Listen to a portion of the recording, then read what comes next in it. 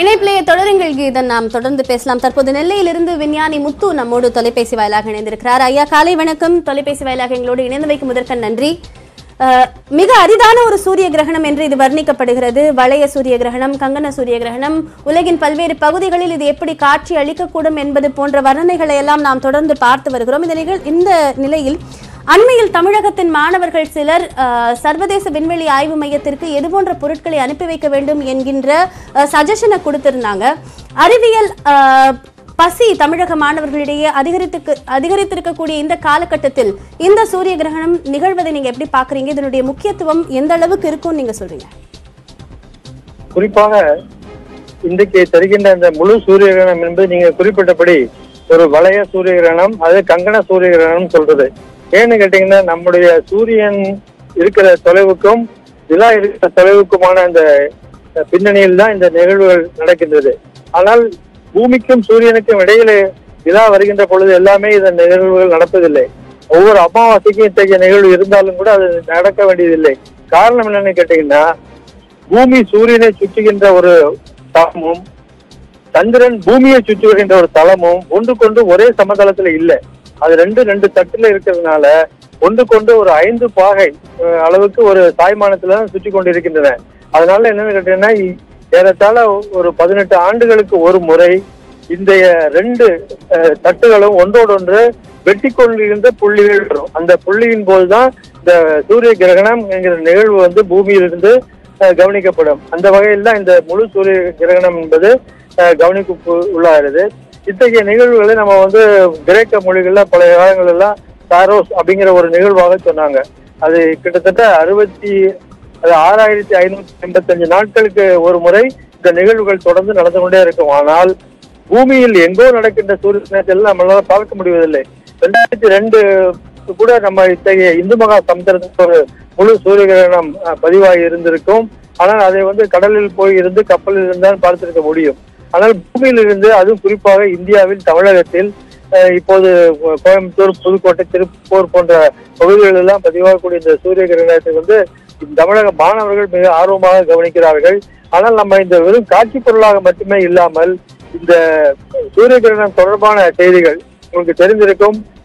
நிலாவுக்கும் பூமிக்குமான இடைவெளி என்பது கிட்டத்தட்ட மூணு லட்சத்தி எண்பதாயிரம் கிலோமீட்டர் அதே போல பூமிக்கும் சூரியனுக்குமான இடைவெளி என்பது ஏறத்தாழ பதினைந்து கோடி கிலோமீட்டர் இந்த பின்னணியில ஒன்றுக்கொன்று எப்படி இதை மறைக்கிறது என்பதற்கான காரணங்களை பார்க்கும் பொழுது ஒன்று வந்து நிலா வந்து பூமியினுடைய அளவில் நான்கு ரூபாய் தான் இருக்கிறது. அதே நேரத்துல அவ்வளவு பெரிய ஒரு சூரியனை மறைப்பதற்கு என்ன காரணம் என்றால் இது இடைவெளியில் வந்து அந்த தொலைவுகள் தொடர்பான செய்திகள் இருக்கின்றன. ஆக இத்தகைய கணித கணிதவியல் சார்ந்த இயற்பியல் சார்ந்த செய்திகளை நம்ம கவனத்தில் கொள்ள வேண்டும். ஒன்று இரண்டாவதாக இத்தகைய பதிவுகள் வந்து மற்ற இடங்களில் நடக்கும். இந்த வான் இயற்பியல் சார்ந்த ஆய்வுக்கூடங்கள் இருக்கின்றன அஸ்ட்ரோபிசிக்கல் லெபார்டரிஸ் என்று சொல்வார்கள். அத்தகைய வகையில் இருக்கக்கூடிய அமைப்புகள்ல இருந்து நிலாவின் உடைய நிழல் வந்து சூரியனில் படும் பொழுது சூரியனில் இருந்து ஒளியை தவிர ஏனைய துகள்கள் எல்லாம் பூமிக்கு வந்து கொண்டுதான் இருக்கும். அந்த துகள்கள் வந்து எத்தனை கதிர்வீச்சுகளா இருக்கின்றன என்பதை எல்லாம் தனியாக ஆராய்ச்சி பண்ணுவதற்கு நம்ம வந்து தனியா இப்போ ஒரு துறையை தேர்ந்தெடுக்க முடியாது. ஏன்னா ஒளியை மட்டுமாக நீக்கிவிட்டு மற்ற துகள்களை மட்டும் நம்ம எடுத்து சூரியனில் இருந்து கவனிக்க முடியுமா என்றாலும் தனியா முடியாது. இத்தகைய நிகழ்வு என்பது இது போன்ற ஒரு கிரகண நிகழ்வின் போதுதான் முடியும். அப்போ அத்தகைய ஒரு சூரியன் சார்ந்த செய்திகளை இதில் பதிவு பண்ணலாம். அது மட்டும் இல்ல ஒரு சில சூரிய கிரகணங்களின் போது சூரியனுடைய முகப்பரப்பில் தெரியக்கூடிய சில கரும்புள்ளிகள் சொல்லுவாங்க. சன் ஸ்பாட்னு சொல்லுவாங்க.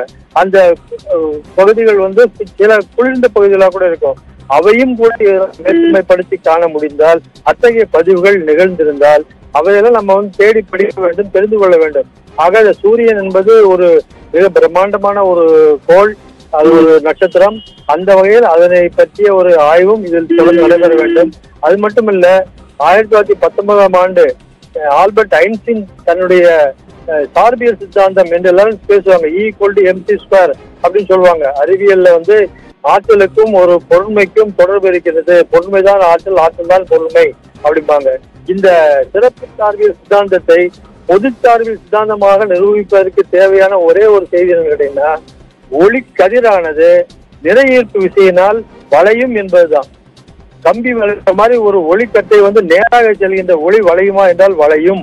இத்தகைய சூரிய கிரகணங்களின் போது நமக்கு பக்கத்தில் இருக்கின்ற இந்த சூரியனாகிய நட்சத்திரம் என்பது அதற்கு பக்கத்தில் இருக்கக்கூடிய அல்லது அதற்கு பின்னால் இருக்கக்கூடிய விண்மீன்களில் இருந்து வரக்கூடிய ஒளியை பூமிக்கு வளைத்து திருப்பி விட்டு நம்ம பார்க்கப்படுது ஒரு அதனால இத்தகைய செய்திகள்லாம் இதுல தகவலா இருக்கின்றன.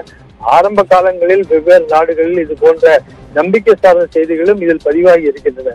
ஒரு குறிப்பிட்ட காலகட்டங்களில் பாத்தீங்கன்னா ஏன் மகாபாரதத்துல கூட பீஷ்மர் இருந்தது ஒரு சூரிய கிரக நாள் என்றுதான் ஒரு தகவல் இருக்கின்றது.